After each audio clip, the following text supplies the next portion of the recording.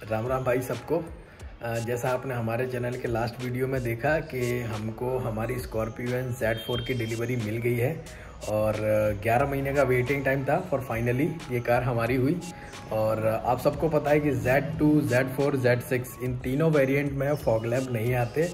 और मैंने शोरूम से काफ़ी ट्राई किया था।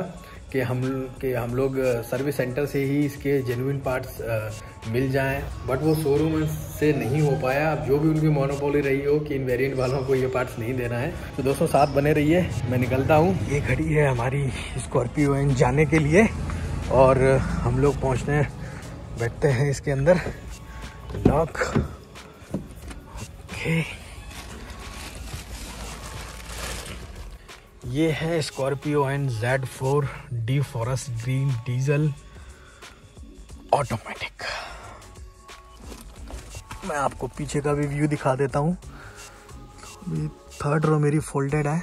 ये जो फॉग लैम्प है, वो जो मेरे फ्रेंड ने ऑर्डर किया है, वो एक्चुअली है ग्वालियर में, जो मेरे घर से 40 किलोमीटर दूर है। तो बट वो शॉप पे, उसकी पे आ चुका है ऑर्डर होके। तो हम लोग उसको लेने के लिए जा रहे हैं तो इंस्टॉल कराएँगे। तो हम लोग ग्वालियर स्पॉट पर पहुँच चुके हैं, कौशल भाई कार एसेसरीज़ पे, और कौशल भाई ने फॉगलम डालने के लिए इसके बम्पर को और साइड क्लाइडिंग को खोलना स्टार्ट कर दिया है। ये fog lamp specially on demand order किए गए हैं, और महिंद्रा के जेनविन फॉग लैम्प हैं। ये महिंद्रा एंड महिंद्रा के बॉक्स में आए हुए हैं और जेनुइन पार्ट्स हैं और इनके स्टीकर पे manufactured by Mahindra and Mahindra manufacturing date part number सारी चीज़ें मेंशन है। तो ये जेनुइन प्रोडक्ट है महिंद्रा का। तो ये ओपन करते हैं बॉक्स जिसमें है ये एक साइड का फॉग लैम्प और डीआरएल और विथ वायरिंग सो आप देख सकते हैं ओके मैं थोड़ा सा उल्टा पकड़े हुए हूँ बट इसको ये घुमा के लगेगा। और इसमें तीन बॉक्सेस आए हैं। दो में फॉग लैम्प है राइट और लेफ़्ट और एक बॉक्स में ये है पियानो ब्लैक का फ्रेम जिस पे हमारा फॉग लैम्प अटैच होना है, और ये अटैच होगा बम्पर में। तो इस फ्रेम को, इस बम्पर में स्क्रू के थ्रू टाइट किया जा रहा है, और कुछ इसमें स्नैप फिटिंग्स हैं जो ऑटोमेटिकली टाइट हो जाएँगी, और इस फ्रेम को बम्पर में प्रॉपर फिट होना बहुत ज़रूरी है, जिससे बाद में ये लूज़ ना रहे। और ये इन कौशल भाई की दुकान है, कौशल कार एसेसरीज़ के नाम से। ये दोनों फ्रेम टाइट हो चुके हैं। अब बारी आती है इनमें फॉग लैम्प टाइट करने की।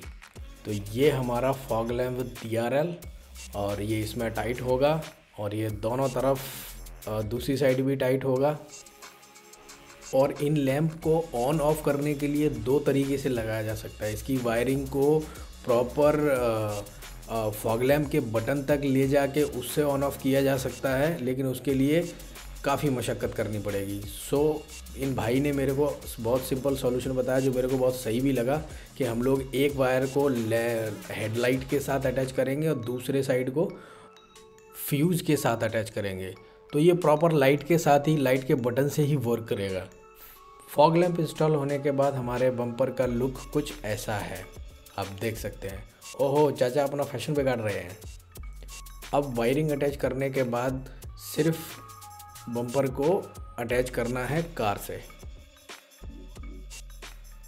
नाउ इट्स वॉशिंग टाइम और आफ्टर वॉशिंग ये आया हमारे न्यू स्कॉर्पियो एन के फॉग लैम्प और डीआरएल का लुक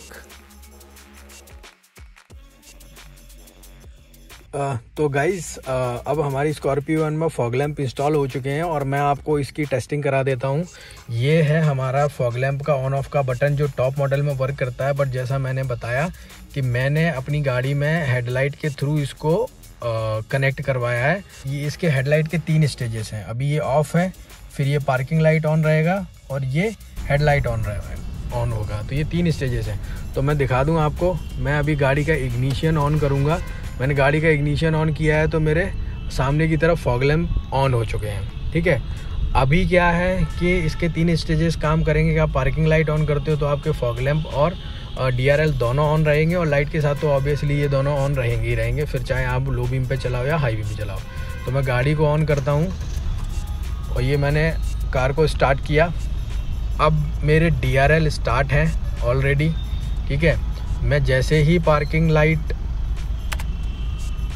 ऑन करूँगा, मेरे डी आर एल और फॉग लैम्प दोनों ऑन हो जाएँगे, ठीक है?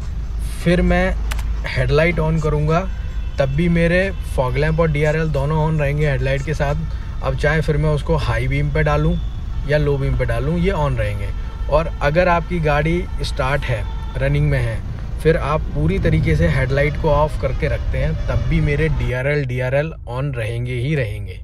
तो ये प्रॉपर वर्क कर रहे हैं। जैसा कौशल भाई ने बताया था, वैसे वर्क कर रहे हैं और I am satisfied with that तो फ्रेंड्स कौशल भाई का एड्रेस और कॉन्टैक्ट नंबर मैं यहाँ शेयर कर दूँगा। अगर किसी भाई को ग्वालियर में ही अपने फॉग लैम्प इंस्टॉल कराने वो भी जेन्यून तो वो इससे कॉन्टैक्ट कर सकता है।